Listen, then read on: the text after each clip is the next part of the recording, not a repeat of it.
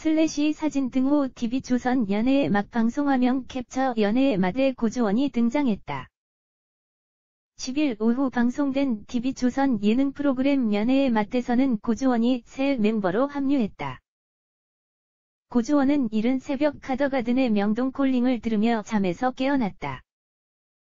고주원의 극도로 감성적인 모습에 진행자들은 이필모를 넘어섰다며 감탄했다.